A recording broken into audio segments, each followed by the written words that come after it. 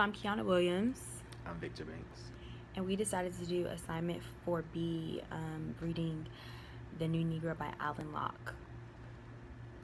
Um, so basically, what we thought about um, The New Negro is that it was a very interesting passage, and it was talking a lot about speaking up and being able to have a lot more self um, esteem as far as the thought process and being more independent in how you think. Um, Alain Locke himself was a philosopher, and he was actually the first Rhodes, Scholar, the first Black Rhodes Scholar, and he went to Harvard. And a lot of his thinking had to do with having a wider race consciousness and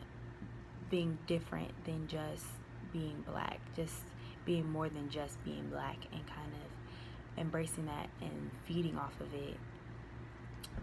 Um, we also kind of related it back today, where in our society,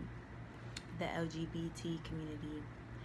and just talking about how it's a lot easier and more common to have people coming out and expressing their pride like on a wider